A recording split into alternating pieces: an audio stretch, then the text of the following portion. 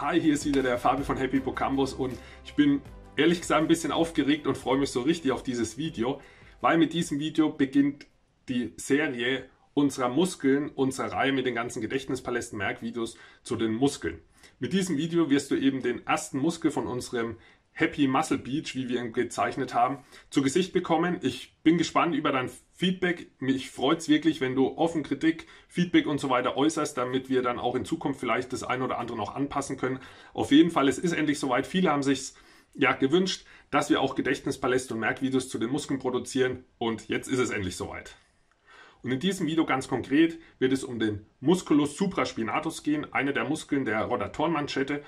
Wie gesagt, in Zukunft, es wird einige Videos, falls du vielleicht jetzt das Video gerade schaust, schon einige Videos auch in unserem Lernpaket zu den Muskeln geben. Schau gern da mal vorbei, vielleicht ist schon soweit, aber auch einige dann hier auf YouTube. Falls du zu den Muskeln, zu diesem Thema nichts verpassen möchtest, wir haben auch einen Verteiler, du kannst dich unten über den Link eintragen. Dann bekommst du immer die aktuellen Infos, wenn es ein neues YouTube-Video zu den Muskeln gibt. Also speziell alles, wenn es darum geht, Muskeln zu lernen. Ich werde da Tipps auch mal rumschicken, aber auch vor allem die ganzen News. Wenn eben was Neues erscheint zu den Muskeln, erfährst du es da auf jeden Fall als erstes. Kurz zur Erklärung. Ich habe gerade den Begriff schon in den Mund genommen. Happy Muscle Beach. Happy wegen Happy Hippocampus und Muscle Beach wegen eben Muskeln und Strand und so weiter, weil eben die ganzen Gedächtnispaläste entweder am Strand direkt, das wird in diesem Video schon der Fall sein, oder in Strandnähe stattfinden werden, weil wir eben gesagt haben, das Motto Muscle Beach und so weiter passt ganz gut. Deswegen auch die ganzen Aufnahmen in Neuseeland vor Ort, wo ich eben verschiedene Strände und so weiter abgefilmt habe, eben um Gedächtnispaläste dann für diese ganzen Muskeln zu erstellen. Ja, alle weiteren Details, wie wir dann diesen Muscle Beach noch weiter unterteilt haben, gegliedert haben, dazu wird es dann nochmal ein extra Video geben. Aber soweit, dass du schon mal weißt, warum gibt es jetzt einen Gedächtnispalast an einem Strand und ja, wie das alles aufgebaut ist. Aber ich wollte einfach mal ganz kurz sagen, warum wir hier jetzt vom Happy Muscle Beach sprechen und warum wir jetzt uns am Strand befinden. Aber du siehst auch, ist ein ganz gutes Beispiel, dass man auch eben Gedächtnispaläste nicht nur in Räumen bauen kann, sondern eben auch an öffentlichen Plätzen, ja, oder eben Outdoor am Strand und so weiter. Wir haben es auch so aufgebaut, dass es für dich noch einfacher ist, dass wir immer bestimmte Muskelgruppen, wie in dem Fall eben die Rotatorenmanschette, an gewissen Orten platziert haben, dass du dir auch einfacher tust und weißt, okay, wo waren jetzt die Muskeln zur Rotatorenmanschette und so weiter. Zum Musculus supraspinatus, der eben ein Teil oder einer der Muskeln der Rotatorenmanschette darstellt, befindet sich eben am Strand. Wir haben uns überlegt, okay, pseudologisch quasi erklärt, wenn man eben an der Schulter verspannt ist, braucht es Orte, wo man eben entspannen kann, runterkommen kann und die Schultermuskeln wieder entspannen kann. Und da bietet sich eben der Strand oder Location in Strandnähe eben an. Deswegen werden die ganzen Schultermuskeln in Strandnähe oder direkt am Strand ja, stattfinden. So, jetzt aber genug mit dem ganzen Vorgeplänkel. Jetzt geht es endlich los mit dem ersten Gedächtnispalast zum Musculus supraspinatus. Ich wünsche dir viel Spaß dabei und falls du noch nie einen Gedächtnispalast ja, angeschaut hast, lass dich einfach mal drauf ein. Du wirst sehen, wie gut es funktioniert und wie langfristig du dir die Inhalte und Details auch mit einmaligem Schauen ja einfach merken und abspeichern kannst. Hallo und herzlich willkommen zu einem erholsamen Video und neuen Gedächtnispalast hier am Strand. An diesem Strandabschnitt merken wir uns den Musculus supraspinatus. Oha, siehst du das auch, was hier an den Badeschlappen abgeht?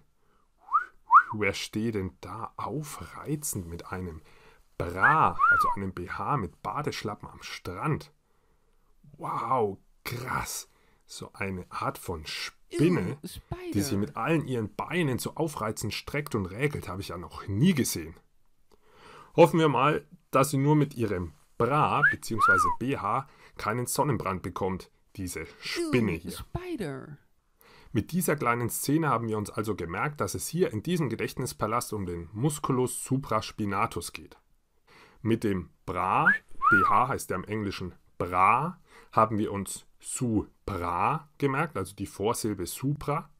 Und mit der Spinne haben wir uns spinatus gemerkt. Zusammen also der Musculus supraspinatus. Musculus supraspinatus. Dieser Muskel gehört wie drei weitere zur Rotatorenmanschette. Das kannst du dir auch schon mal merken. Oh, und schau nur, hier liegt ein großes Fass, das hier anscheinend als Treibgut angespült wurde und blöderweise hier direkt hier auf unserem Handtuch gelandet ist. Aha, irgendwie haben wir es ja schon befürchtet. Der Bra, der Spinne Ew, spider. war dann wohl doch kein ausreichender Sonnenschutz und es wurde der Spinne Ew, so anscheinend doch zu heiß, sodass sie sich hier in diesem Fass vor der Sonne schützen will. Mama mia, hab ich mich erschrocken von diesem Schrei der Spinne. Ew, spider. Spinne hier ist anscheinend selbst so erschrocken, weil ein Kapitän sich dort im Fass versteckt hatte. Er wurde wohl auch mit dem Fass hier angespült und ist wohl auf hoher See gekentert. Oh no, auch der Kapitän fängt jetzt das Kreischen an, als er die Spinne Ew, bemerkt und Spider. springt aus dem Fass und rennt schreiend am Strand davon. Also wenn du mich fragst, das sieht mir ganz nach einer ordentlichen Spinnenphobie Ew, aus. spider. Hiermit merken wir uns den Ursprung des Musculus supraspinatus, die Fossa supraspinata der Scapula. Wie wir uns das merken, schauen wir uns jetzt im Detail an. Das Fass hier auf unserem Badetuch steht für Fossa. Und der Bra, also der BH der Spinne, steht wieder für Spider. Supraspinata. Der Bra im Englischen für die Vorsilbe supra und die Spinne für Spinata. Supraspinata. Und der Kapitän, der vor der Spinne ausreißt, steht für Scapula. Scapula. Insgesamt also der Ursprung Fossa supraspinata der Scapula. Oh, schau mal, hier liegt eine Tauchermaske, mit der ich ja auch ganz gern eine Runde mal schnorcheln würde. Aber hörst du das Blubbern und die tiefen Töne auch? Hier spielt anscheinend jemand Tuba. Es ist echt verrückt und irgendwie auch ein bisschen traurig, was hier so alles an den Strand anscheinend gespült wurde. Das ist ja schon ein bisschen seltsam hier. Schau nur, hier spielt jemand Tuba und hat dabei eine Tauchermaske auf. Das ist wohl der Grund, warum sie auch irgendwie so komisch klingt. Oh weh, das sieht gar nicht gut aus. Überall schießen hier aus der Tuba lauter Kulis heraus und uh, überall spritzt die Tinte herum. Vorsicht! Und nicht nur das, plötzlich wird das Spielen lauter und lauter und ein Major wird aus der Tuba mit Kulis geschleudert. Er versucht als großer Major, jemand aus der Armee, trotzdem Haltung zu bewahren, aber ihm wurde so der Marsch anscheinend geblasen, dass er wie wild durch die Luft geschleudert wird und oh nein, ist das boah, eklig.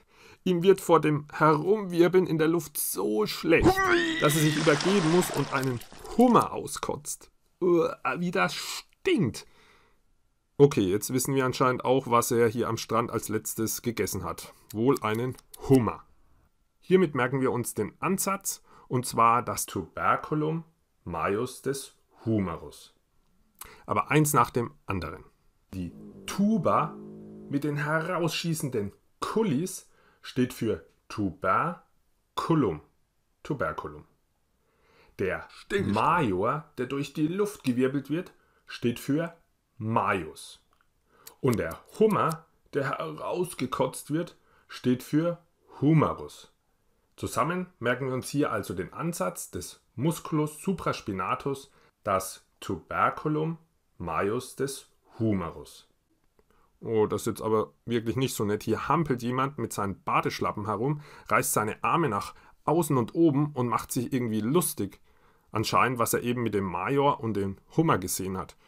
Dieser Hampelmann in Badelatschen lacht tatsächlich den Major aus und hampelt hier herum und reißt seine Arme hampelnd in die Luft.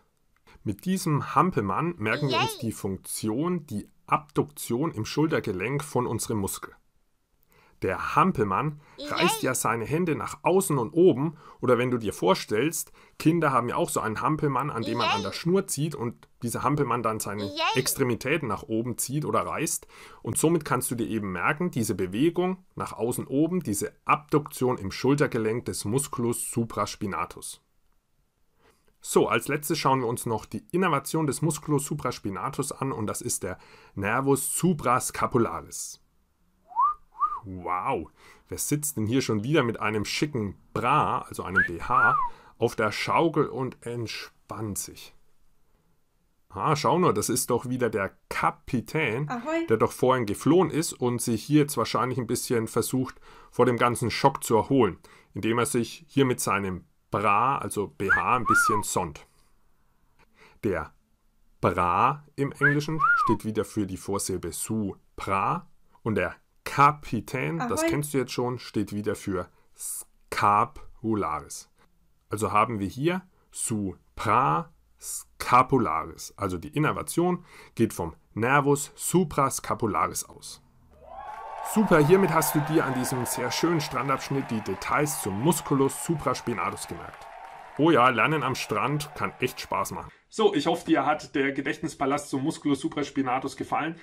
Schreib es mir gerne in die Kommentare, falls du Feedback hast, wie es dir gefallen hat. Wenn es dir gefallen hat, gib dem Video auf jeden Fall einen Daumen nach oben. Teile das Video auch gerne mit Leuten oder Kommilitonen und Kommilitoninnen, die eben ja davon auch profitieren können. Ja, wenn du jetzt sagst, boah, du möchtest noch weitere Gedächtnispaläste zu den Muskeln ja dir anschauen, dann schau gerne mal in unser Lernpaket.